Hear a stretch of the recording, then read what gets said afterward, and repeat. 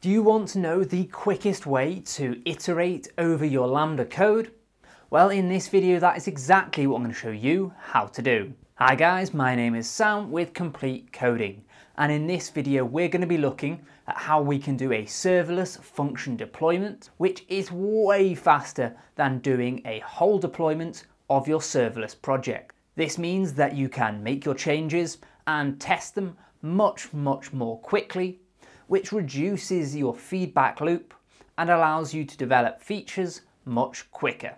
If you need to make a change to your Lambda code, but you don't want to have to wait for a full serverless deployment, what you can do is you can make your change. So in this case, I might be saying, I've named the environment variable wrong. So it should be env.tablename. And now, instead of just doing a full serverless deployment, which will deploy your whole application. You can do SLS deploy and then say that I only want to deploy a single function. I can then use minus F and add the function name. In my case, I always name my functions in the folder exactly the same as in my functions.ts. So set URL. I can check that that lines up with the name inside my array of functions and then hit run.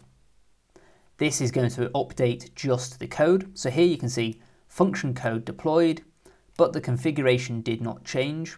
So it's taken, yeah, as you saw, a fraction of, a, of the time it normally takes to deploy your full application. In this video, we have learned how to do a serverless function deployment, where we're deploying just the code that has changed. This is super powerful for basically reducing the time it takes for you to test out a code change and therefore reduces the feedback time so you can iterate more quickly and develop your app more effectively. If this is a new technique and you've learned something that you think will be valuable, then it would be really helpful if you hit that like button as it helps share this video to more developers just like yourselves.